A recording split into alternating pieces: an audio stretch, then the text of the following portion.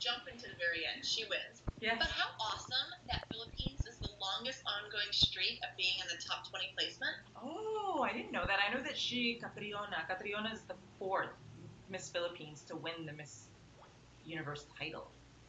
I didn't know that. That's interesting. The fourth. But two of them in like recent, yeah, right? very recent. Pia was just Miss the Universe. longest ongoing streak of top 20 placements. Crazy. And South Africa. South Africa's been like kicking major butt at Miss Universe.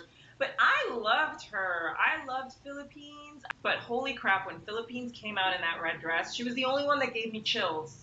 The only one. I was like, That, whoa. that dress was outstanding. I loved how it was like different shades of red, and it almost looked like it was on fire. I mean, it was insanity. And then the way that she walked, which I'll get into that in a second, because her final look walk was like, that's when I was like, girls, just rest of you pick up the scraps, because the crown is hers. Um, Yeah. when when we see them all standing together, it was silver, silver, silver, silver, and then red. Philippines in the middle, and it's like that's all you could look at. And this is at the point where Philippines like kicked it into high gear, got some like nitrous oxide like up her butt, and just like took off like a freaking sports car. Yep. Uh, because like I felt like everyone else was left in the dust at this point. My eyes were just on her. Are you talking about the top five or when she answered her top three question? Well, standing in top five after they answered, Oh. they getting ready to be called out. So Yeah. it was like silver, silver, silver, silver, and then bright red in the middle. Right. So my eyes were just drawn to her. Of course. Then she got called out in top three, and then the way she answered her top three answer, I was like, Ridiculous. I know. At that point, I was like, give her the crown, and it's over. But I didn't, you know, I, I'm glad that she um, she redeemed herself for me because in the top five, she didn't do such a great job answering. She did. It was okay. It was an okay answer.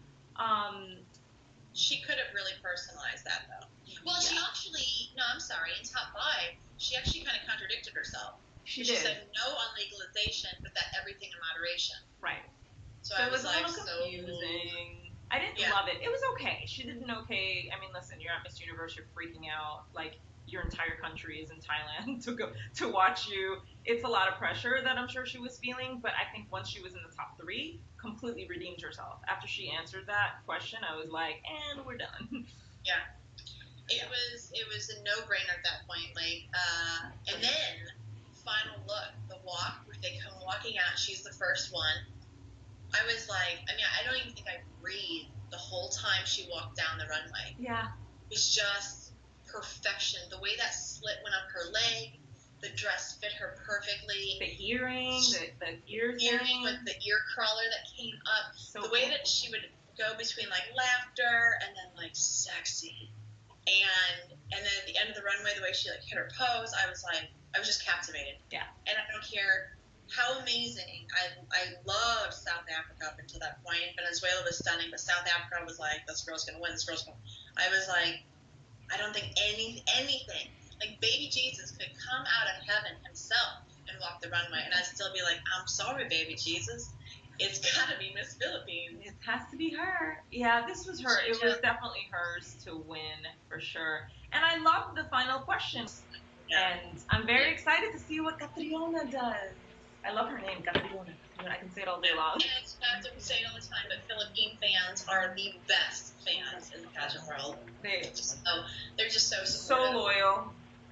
I was actually watching. I was watching the pageant in the lobby of my hotel, and the late there's a bar at, in the lobby, and the late the girl that was behind the bar, she wasn't really the bartender, like she was just back there. She works at the hotel. She's Filipino.